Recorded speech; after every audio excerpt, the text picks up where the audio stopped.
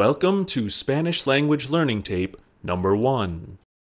Please listen to the English phrase, then repeat in Spanish. Your potatoes are in the dryer. Tus patatas están en el secador. Madam, I have lost my starchy tubers. Señora, he perdido mis tubérculos peculentos. I'd like a burger and an order of patatas fritas. Me gustaría una hamburguesa con french fries. Grandmother, where is the jacket for my potato? Abuela, ¿dónde está la chaqueta para mi papa? My potato is naked. Let's go to church. Mi papa está desnuda. Vamos a la iglesia. My hovercraft is full of hash browns.